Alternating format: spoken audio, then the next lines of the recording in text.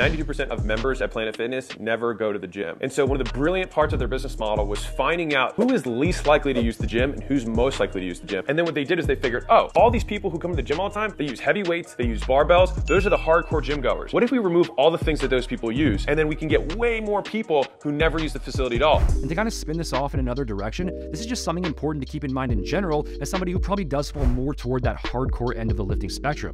Not only does the vast majority of the population not go to the gym at all, or even exercise on a regular basis, period. But even the people who do have gym memberships, most of them don't train consistently either, whether it's Planet Fitness or anywhere else. So by all means, strive for your ultimate dream physique, but as you're constantly scrolling through your feed and comparing yourself to the top 0.001%, don't forget to give yourself credit for where you are right now. And remember that as long as you're working out regularly, you're eating a reasonably healthy diet, you're staying within a healthy body fat range, and you're carrying noticeable levels of muscle, you're already doing a pretty solid job as is and are way ahead of most people as far as fitness is concerned.